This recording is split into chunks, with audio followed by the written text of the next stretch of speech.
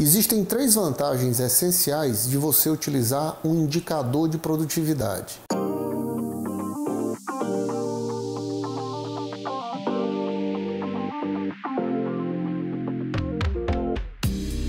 E a primeira é que você tira totalmente a pessoalidade nas reuniões de feedback quando houver ali um, um mau desempenho e que você precisa chamar a atenção do time para aquele mau desempenho.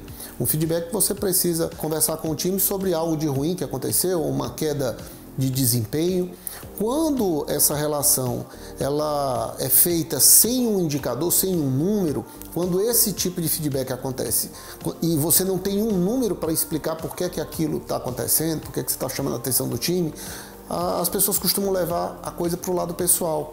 O cara fica dizendo, ah, tá pegando no meu pé, nossa, esse chefe pega muito no meu pé, ah, esse cara implica comigo. Você chama um colaborador para conversar com ele sobre algo que prejudicou ali o, o, o desempenho da empresa e foi a, basicamente responsabilidade ali da, da área onde ele está atuando, naquela do setor lá na empresa onde ele que ele é o responsável. Aí você vai chamar esse cara para conversar e não tem números para apresentar, você apenas reclama de uma ineficiência ou de alguma coisa que aconteceu ali, sem mostrar para ele em números o prejuízo real né, daquela atitude, daquele mau comportamento, daquela decisão que ele tomou, ou daquela negligência, ele vai levar para o lado pessoal. Ele vai achar que você está implicando com ele, está pegando no pé e acaba mudando o comportamento durante uma semana e retomando tudo de novo, fazendo do jeito que era antes, ali na semana seguinte. Quando você tem números para apresentar todo mês, chamar e dizer: olha,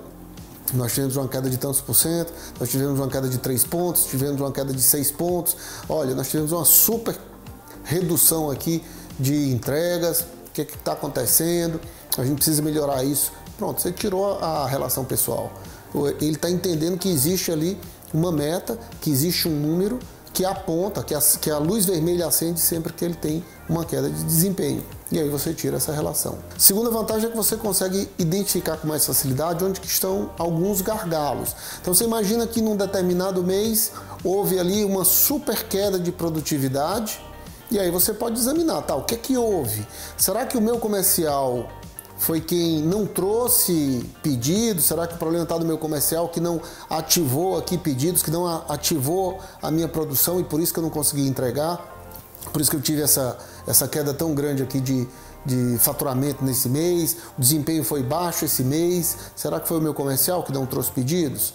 Ou será que o comercial trouxe pedidos, mas o meu operacional é que não conseguiu fazer as entregas? Então você consegue identificar onde é que está o gargalo, você consegue identificar se precisa melhorar as eficiências nos processos internos, se você precisa ativar melhor ali o seu marketing, o seu time comercial para trazer mais pedidos.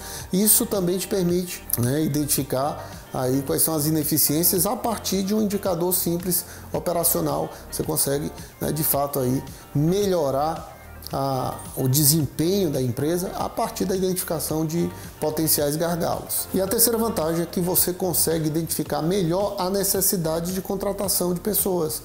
Se você percebe que o desempenho ele está estagnado, que a empresa não está crescendo, ela não está não tá conseguindo avançar digamos assim, em termos de metas. Você estabeleceu metas mais ousadas e a empresa não está conseguindo chegar lá. E o indicador ele vai te dizer o seguinte: olha, a minha eficiência operacional está trabalhando em que limite de capacidade? Porque se o teu comercial está pressionando demais o time operacional e esse time não está dando conta, você consegue ali já identificar a necessidade de contratação de pessoas. Ou também ainda dentro da, da aqui fazendo, digamos, uma conexão entre essa vantagem e a a vantagem de você identificar gargalos, de repente você precisa comprar mais equipamentos. Então, identificar a necessidade de contratação de pessoas, identificar se a necessidade é talvez contratar mais equipamentos, é mais uma vantagem aí de você ter um indicador de desempenho, um indicador de desempenho operacional. Se você tem isso, você consegue estabelecer metas muito melhores, tomar decisões muito mais assertivas e melhorar aí o desempenho da sua empresa. Por hoje era isso, muito obrigado por assistir, um grande abraço e até a próxima.